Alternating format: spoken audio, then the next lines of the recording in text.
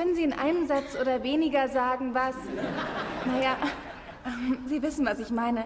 Können Sie sagen, wieso Amerika das großartigste Land der Welt ist? Wegen der Vielfalt und äh, Möglichkeiten. Louis? Äh, Freiheit und Freiheit. Und dabei sollten wir es belassen. Well? Die New York Jets. Nein, ich bestehe auf eine ernsthafte Antwort, Will. Was macht Amerika zum großartigsten Land der Welt? Naja, wie Louis und Sharon schon sagten, Vielfalt und Möglichkeiten und Freiheit und Freiheit.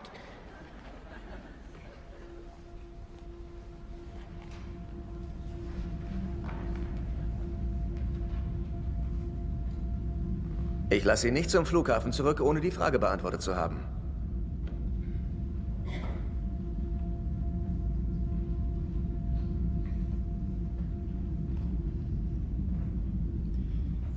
Nun, unsere Verfassung ist ein Meisterwerk. James Madison war ein Genie. Die Unabhängigkeitserklärung ist das Beste, das je in Amerika zu Papier gebracht wurde.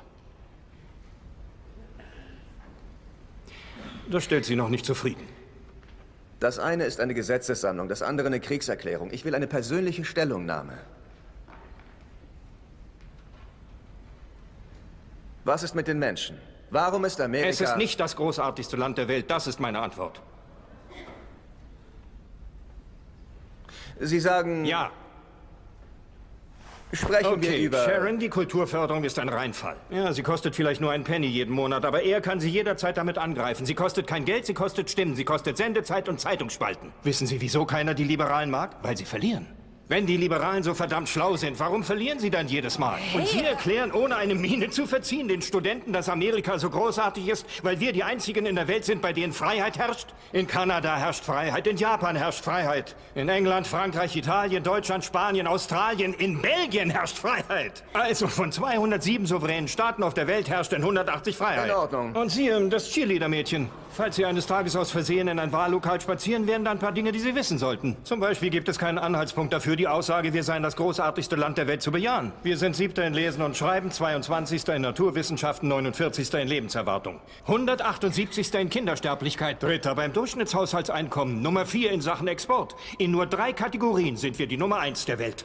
Anzahl der Inhaftierten pro Kopf, Anzahl der Erwachsenen, die an Engel glauben und in Rüstungsausgaben. Wir geben mehr aus als die nächsten 26 Länder. 25 davon sind Alliierte. Das ist natürlich nicht die Schuld einer 20-jährigen Studentin. Aber nichtsdestotrotz gehört ihr alle zweifellos der erbärmlichsten Generation überhaupt an. Wenn ihr fragt, was Amerika zum großartigsten Land der Welt macht, weiß ich verflucht nochmal nicht, wovon ihr redet.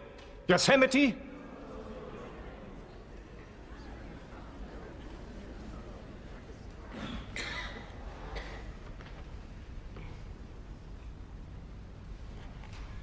Vielleicht waren wir es mal. Wir standen für Gerechtigkeit. Wir kämpften aus moralischen Gründen. Wir haben Gesetze aus moralischen Gründen erlassen oder gekippt. Wir haben Armut bekämpft, nicht arme Menschen. Wir haben uns aufgeopfert. Wir haben Gutes getan, weil es uns wichtig war und nicht, um uns damit zu brüsten. Wir bauten tolle, fantastische Dinge, machten unerhörte technologische Fortschritte, erforschten das Universum und heilten Krankheiten. Wir förderten die großartigsten Künstler der Welt und schufen die größte Volkswirtschaft. Wir griffen nach den Sternen, handelten wie Menschen. Wir strebten nach Erkenntnis, wir taten sie nicht einfach ab und hatten nie das Gefühl, unterlegen zu sein. Wir definierten uns nicht darüber, wen wir zuletzt gewählt hatten und ließen uns nicht so schnell einschüchtern. Wir waren in der Lage, all das zu sein und zu tun, weil wir informiert waren. Durch tolle Menschen, Menschen, die wir achteten. Der erste Schritt, um ein Problem zu lösen, ist zu erkennen, dass es eins gibt. Amerika ist nicht mehr das großartigste Land der Welt.